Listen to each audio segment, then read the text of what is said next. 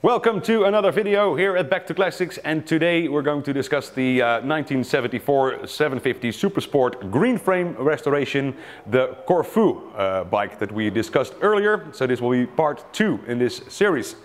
And before we go into uh, details about uh, this, this bike and how we're going to restore it, uh, we'd like to uh, emphasize that we have a uh, website full of uh, information with all parts, etc., all the documentation that you might need. So be sure to check that out and of course like and subscribe to our YouTube channel.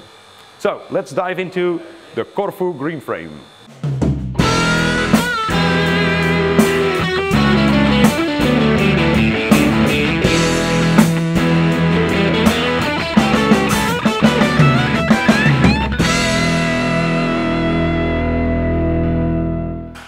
The first job uh, on the engine rebuild will be the uh, crankshaft and that is of course something that, is, uh, that sets the Supersport apart from its uh, uh, sister 750s, the GT and Sport.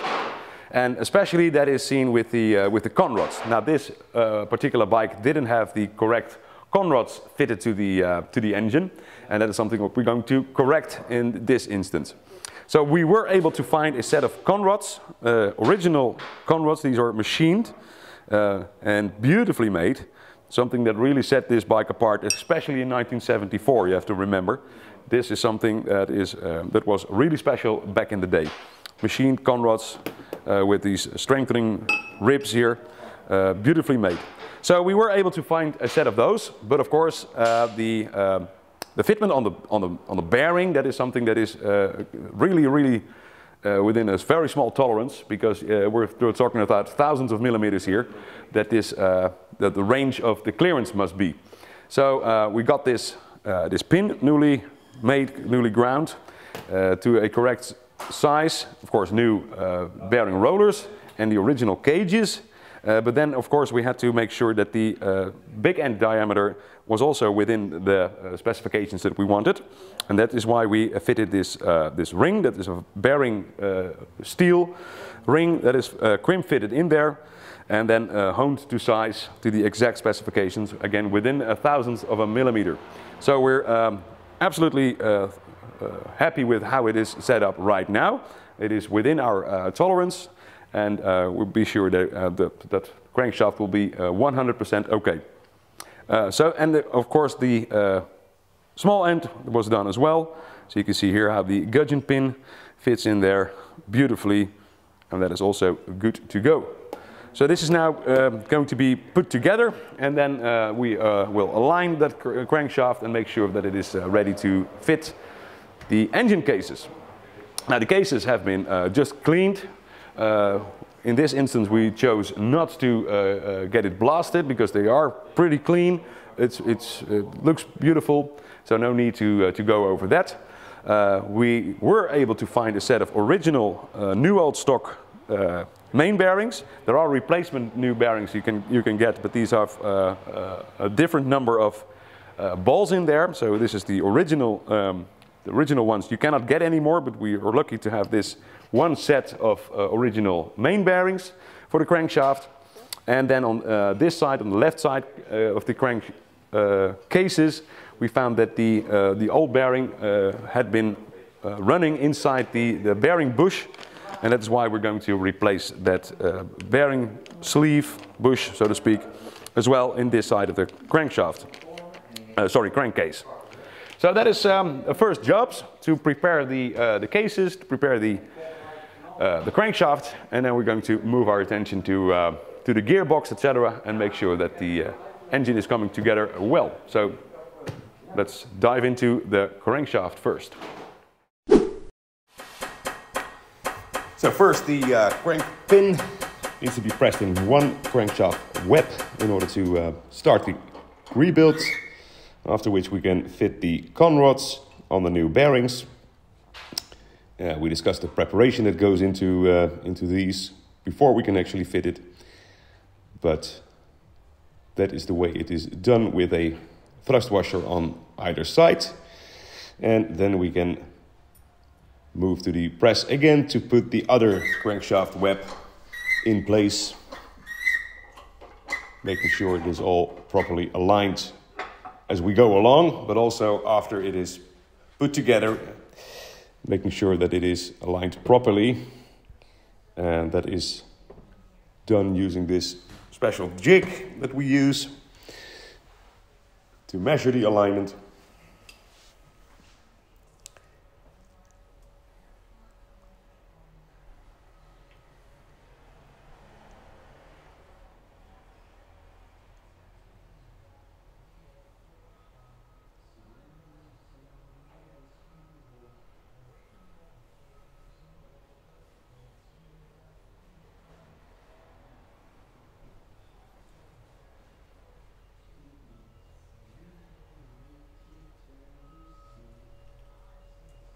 And what we're looking for are the high spots and the low spots, marking these so we get an idea of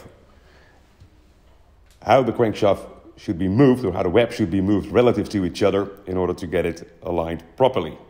And that, is, of course, is done with a heavy copper hammer and some blows in the right place. And here you can see the end result of the finished crankshaft. Good progress made so far on the 750 Super Sport engine. Uh, you saw us rebuilding the crankshaft that has now been uh, fitted to the cases along with the gearbox and the kickstart shaft of course. So the cases have now been closed. Beautiful conrods here sticking out. And the case is all prepared And now for one of the main events on the 750 round case rebuild is this distribution system comprised of many gears, bevel gears that all need to be set up and shimmed correctly for it to turn in the correct way. So um, that's a whole package of shims and bearings and bushes that we're now going to fit together starting with the center bevel gear.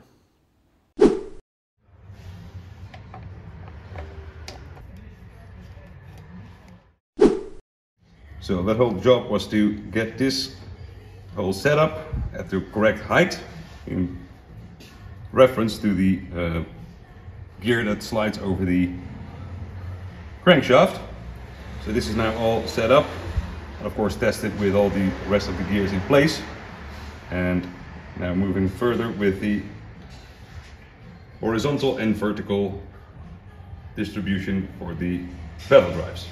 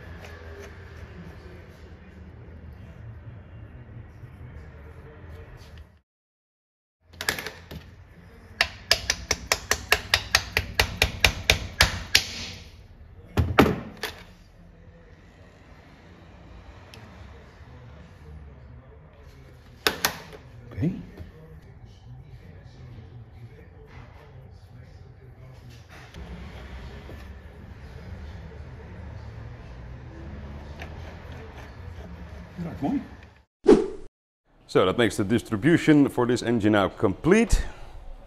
As you can see, we have the front, rear and center bevel all set up with the uh, gear from the crankshaft there in place as well. And it is all lining up. Meanwhile, also the oil pump has been fitted together with the driving gear. And as you can see here, we have no backlash as we should not have and it runs smoothly. Let's see if we can get it, that on camera as well.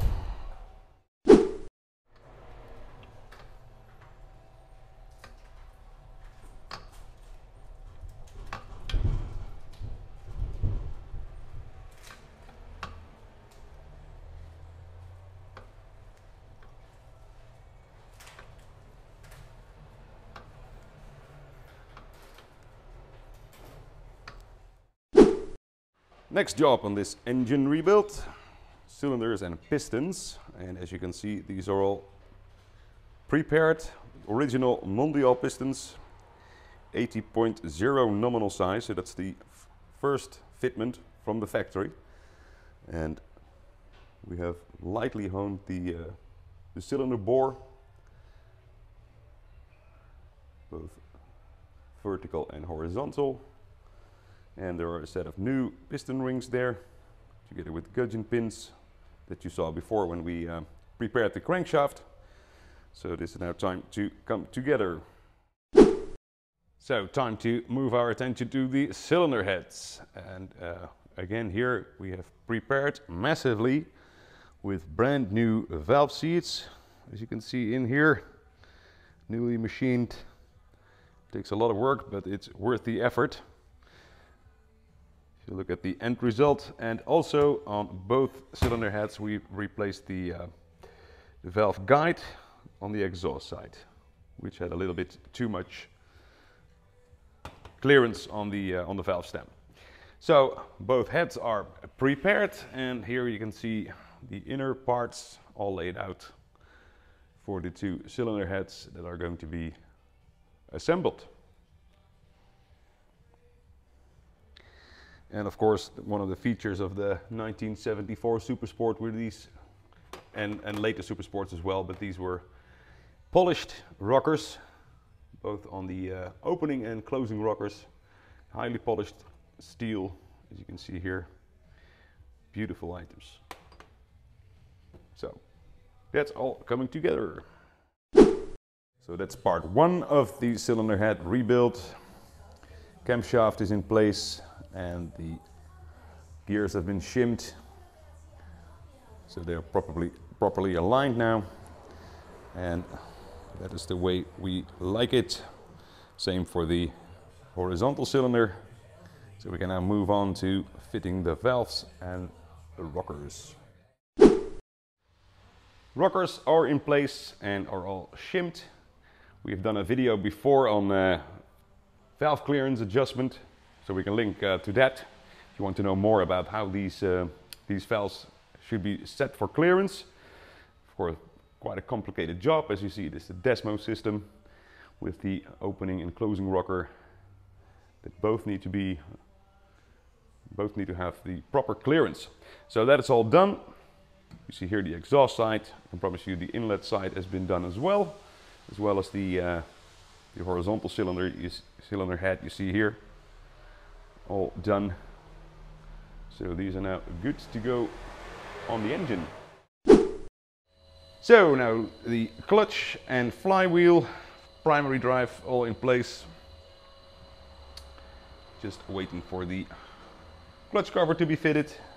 And on the other side we have the alternator cover and gear selector cover to complete this side of the engine so nearly done.